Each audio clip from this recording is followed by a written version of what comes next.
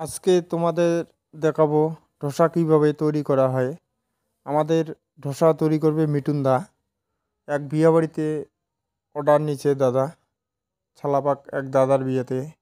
মিটুনদার দোকান হলো N N M স্কুলের সামনে।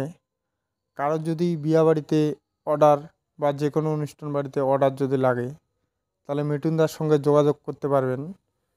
মিটুনদার দোকান এন এন এম স্কুলের সামনেই। নাম্বার দিয়ে দেবো। যদি কোনো বিয়ে বাড়িতে বা যে কোনো অনুষ্ঠান বাড়িতে ধোসা কেউ যদি অর্ডার দিতে চাও, তা ওই নাম্বারে কল করলে পেয়ে যাবেন। তা এখন আপনাদেরকে দেখাচ্ছি ধোসা কীভাবে তৈরি করা হয়।